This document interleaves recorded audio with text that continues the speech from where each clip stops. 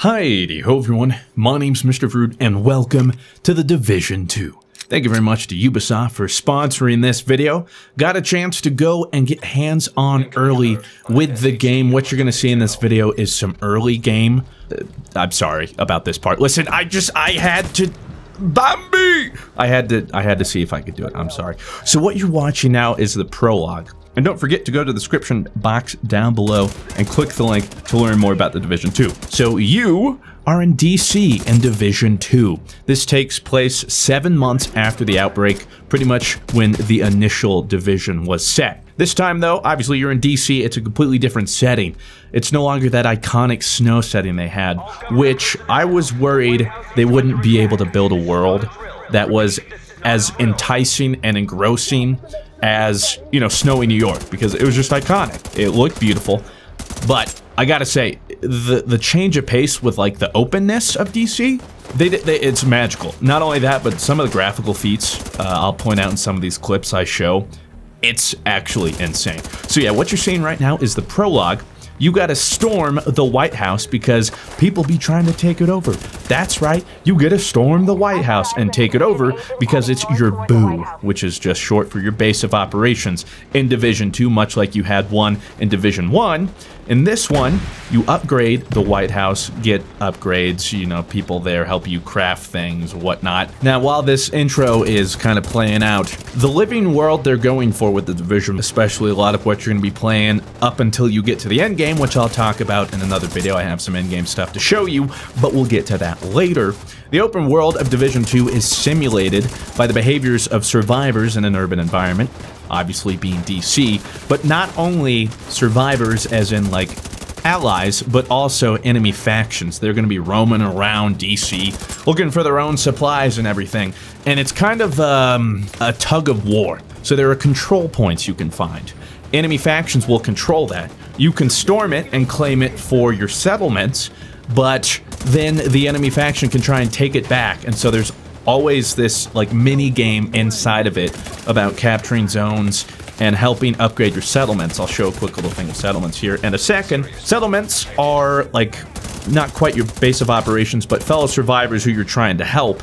They're starting to make their own cities and not only can you upgrade the base of operations, but as you go and do things and help out settlements and get control points, you're going to start upgrading those settlements.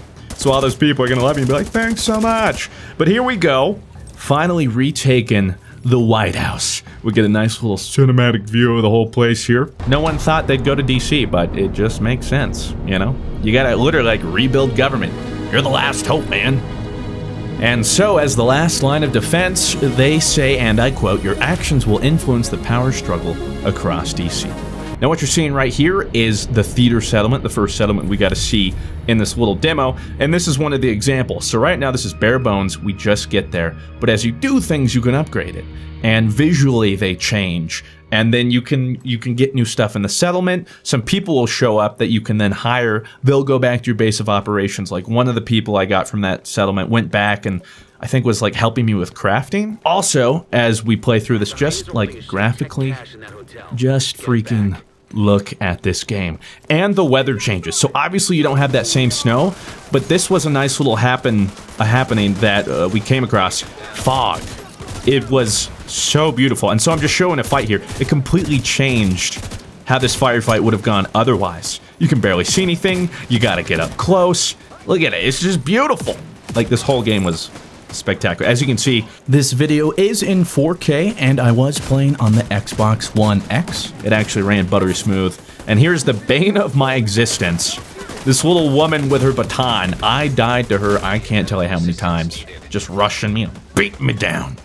Now, a big concern a lot of people have from Division 1, and rightfully so, is the whole bullet sponge thing. That's kind of what I want to talk about and touch on this video, aside from the beautiful graphics just like more touching on on the whole fog situation.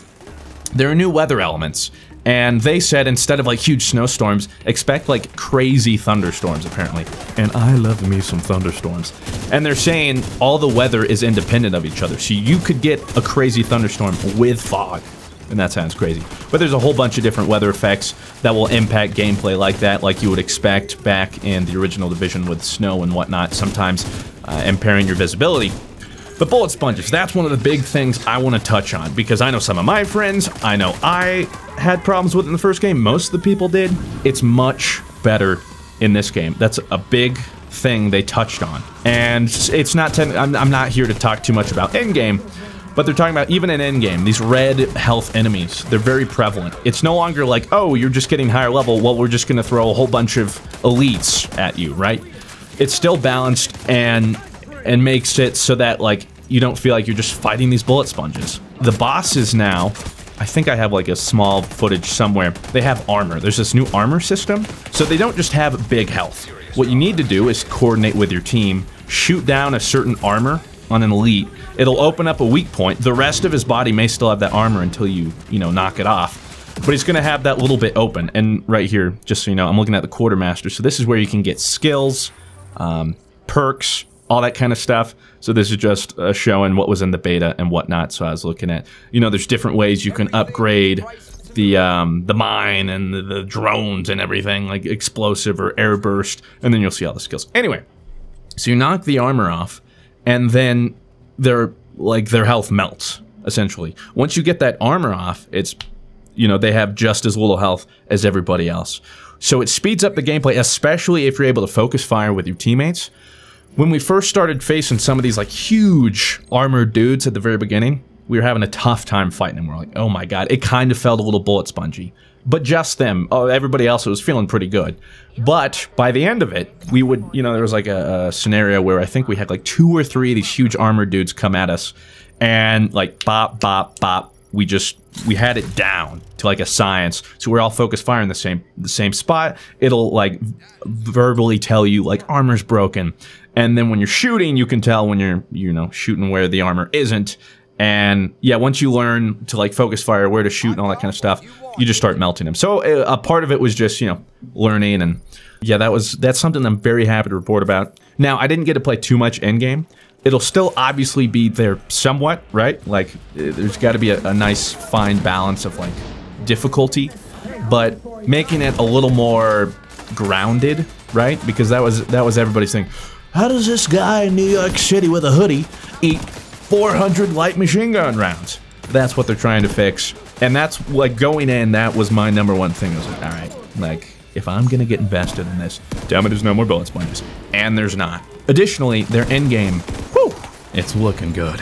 And I'll be covering more of the endgame in my next Division 2 video. We're essentially looking at early game. I categorize early game as pretty much the campaign up until you get to the end game, which they talk about. There are still like more campaign-like missions for end game, but again, not what we're talking about. So the uh, the critical path through the story is the early to mid game, where you essentially start leveling up understanding the game, understanding the mechanics, the concepts, get better at it, adapt, go through the loot system, learn crafting, essentially preparing yourself for the in-game activities, as well as getting you through the story, which is obviously DC's been overrun with all these things. There's like factions called like the Hyenas and the I want to say the other one's like coyotes or something. Don't quote me on that. I think there's an elite enemy in here somewhere in this battle you're watching right now um, for those that don't know divisions, like red health enemies are just like, you know, peasants. I don't know what you would call it. Purple are the next step, and then yellow health is like elites, or whatever you'd want to call them. They're the hardest to kill, obviously. But you'll see somewhere in here, you start shooting him, as soon as his armor breaks, he just...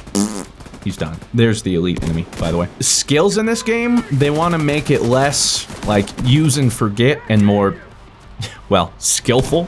So a lot of the skills I want to use and stuff, they're more uh, interactive, I guess. If I want to use the mine, I have to tell it where to go. I don't just like throw it and then it just like with the turret. A cool thing about the turret, not this turret, although this was sick, just lighting some suckers up. It was in this mission and I couldn't resist. It was amazing. So the the personal turret's making a return from Division 1, but this time you can like tell it which enemies to target, or sometimes if you don't keep telling it what to shoot, it just won't do anything. So you actually, like, that's part of the game system for you. And also I got knocked off the stupid turret because these baton people, and I'm like, sick, let me get back on this, and swoop! This guy just comes right in. The audacity. But whatever, dude, cheering is carrying, or something like that, whatever, man. And take a look at this, graphically. Like, look, just look at how dense the world and the streets are. It's a nice change of pace to like see the open air and stuff because Division, you know, it felt very claustrophobic. You had all these big buildings around you. This is just like a nice change of pace. You know what I'm saying? In here, in this clip, uh, we are trying to take a control point. So these pop up in the map. Uh, there's certain strongholds, and this is one. So it's like the enemies have this control point. So we got to go in there, get them all out, and then we would then control that point. It would help settlements. But then you got to be careful because the enemy will still want the control point later on and will try and seize it back and probably will at some point. So you have to keep, like I was mentioning, fighting over these control points because friendly and enemy factions fight for it. It also triggers new activities related to the faction or group in control. I'm not sure if I mentioned, but like enemies will be, you know, prowling through the open world. And if there is a certain enemy that has more control points or something, you're going to see more of them on the streets. But if you're able to take away a lot of their stuff, there's to be less people on the streets. You know, clean it up. And also, you'll see right there, there's a cool little intro to the mission, and I missed the explosion. Then you also had this mission right here, or part of a mission, that myself and everyone else that was playing it just took notice. We really enjoyed this like little interior fight. There's verticality to it. The shooting was fun. I, I don't know what it reminded me of, but it was just a nice little change of pace. Because you were going from like these really close corridors to these big open environments. And yeah, it was a lot of fun. It was a nice change of pace. Should also note the weapon system has kind of changed a little bit. I believe weapon perks are now universal, I think and so like every weapon can roll with them. But on top of that, the attachments are now not attached to in-game loot. You won't find attachments as loot. Instead, you craft or get those through like the quartermaster back at the base of operations. Now they've added other stuff to the loot pool to account for that, and also here you'll see that big armor guy I was talking about. So you can see he's got a big old thing, and shooting him doesn't do too much. Like you're barely damaging him. But once you get off an armor plate, you start shooting. Unfortunately, I couldn't show you much because when I was running away from these people and I nearly died, and it's embarrassing. But there's a lot I want to talk about in the Division 2. And honestly, I have really high hopes. The shooting was tight, fun, loot, obviously, I'm in it to win it, you know what I mean? And I haven't even mentioned the upgraded Dark Zone and PvP and stuff. That'll be for another video. But essentially, they've taken everything they've learned from Division 1, put it into Division 2. It's looking like an absolutely amazing game. And they... They're not paying me to say my opinions. Like, I genuinely went there, I played it, and I was like, okay, I'm all in. But if you were a fan of Division 1, or you were hesitant, you liked it, but you needed some changes or, you know, quality of life or, or you wanted to, to get the next best iteration, this is it. This is the best time to jump into it, my friends. So with that said, I want to thank you all very much for watching. Let me know if there's something more specific you guys would want me to touch in the next video alongside Endgame. And remember, be sure to go down in the description box below to learn more about the Division 2. But with that said, thanks again to Ubisoft for sponsoring this video. Have yourselves a fantastic day. I'll talk to you in the next one. Farewell.